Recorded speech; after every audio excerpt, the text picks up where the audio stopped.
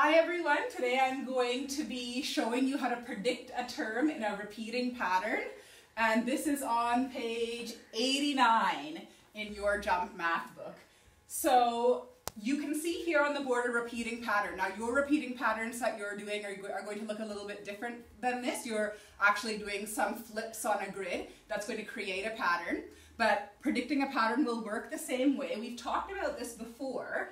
Um, for example, if I want to know what the sixth pattern is in this term, well, I can just count them. This is term one, term two, term three, term four, term five, term six, and I can say, well, that's a circle. The sixth term is a circle.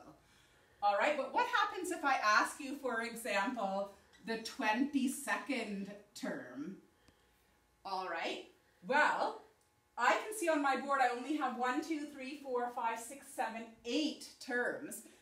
I don't know if I want to keep on continuing this pattern all the way to the 22nd term and even sometimes the 78th term or the 107th term. So that's not going to be an effective tool to use to keep on continuing the pattern, but there is another, another strategy we can use.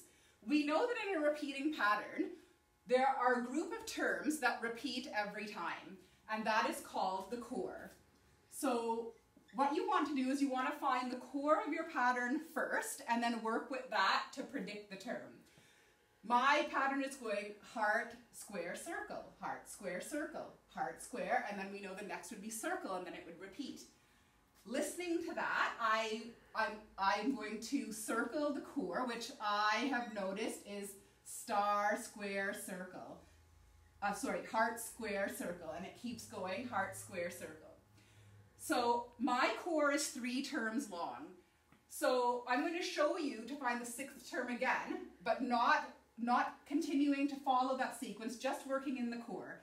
So if I wanted to find the sixth term, I could just do this.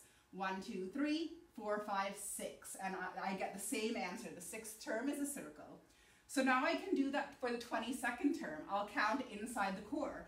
1, 2, 3, 4, 5, 6, 7, 8, 9, 10, 11, 12, 13, 14, 15, 16, 17, 18, 19, 20, 21, and 22 is a heart. The other thing I can do is if I don't want to count them one at a time, if I'm really good at skip counting, I can go 3, 6, 9, 12, 15, 18, 21, and then 22 would be there. So there's different counting strategies you can use within your core to help you find your term that you're looking for. So have fun with that today.